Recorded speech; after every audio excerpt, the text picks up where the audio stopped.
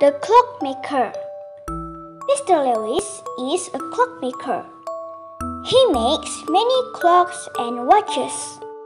He makes wall clocks, alarm clocks, wrist watches, and pocket watches.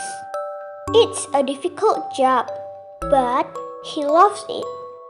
Mr. Lewis has a clock shop in town. It's a small shop but there are thousands of clocks and watches.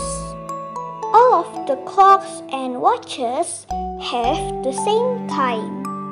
No clocks or watches are fast or slow. What time is it? asked Mr. Lewis. He always knows.